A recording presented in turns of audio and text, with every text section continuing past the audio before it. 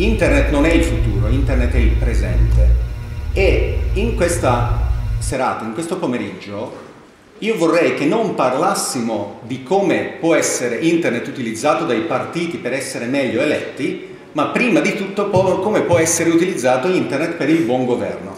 Perché solo dopo che qualcuno ha dimostrato di saper utilizzare lo strumento per il beneficio delle persone, dei cittadini, è allora che si può arrogare eh, il, il, diritto di utilizzare quello stesso strumento per farsi rieleggere.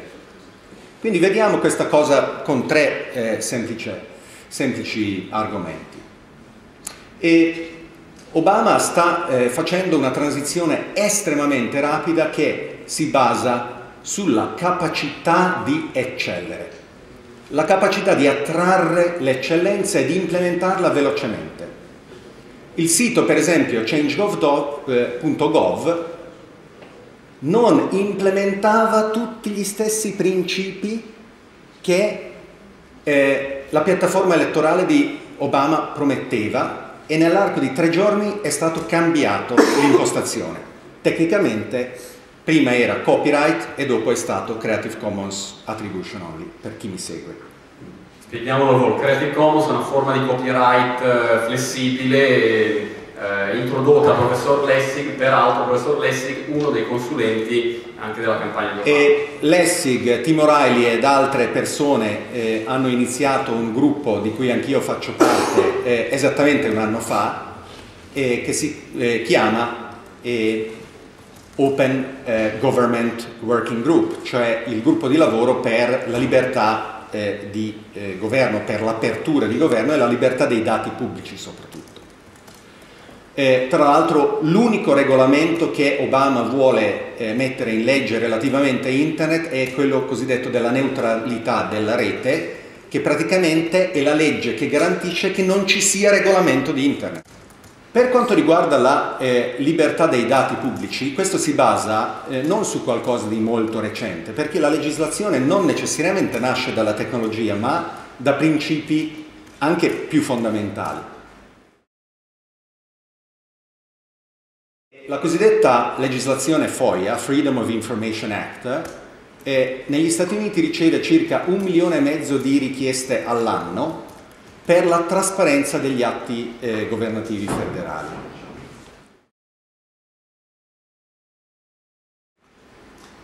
In Italia, e questo è il sito oggi, non nel 1994, del eh, Parlamento, chi era online nel 1994 lo riconosce perfettamente, è lo stile Netscape eh, quando è uscito il primo browser del mondo, la legge corrispondente al FOIA è eh, il numero 15 2005 e ci unisce in eh, buona compagnia in base ad una eh, valutazione di 86 paesi in questa legislazione con il Nepal. Perché per fare le domande su come funziona eh, il governo, come funziona l'amministrazione pubblica, bisogna giustificare la richiesta e questa giustificazione può essere inappellabilmente respinta e quindi il governo può dire ai cittadini non ci interessa sapere eh, farvi sapere come funzioniamo. E prima di venire qua sono andato dietro l'angolo all'ufficio pubblicazioni della Camera. Questa è l'insegna, non c'è scritto che è l'ufficio pubblicazioni della Camera. Avete capito perché abbiamo tenuto Davide Orman in fondo così almeno quando ci si addormenta un pochino Davide accende. Eh, ho comprato questo, il regolamento della Camera, che è disponibile anche online.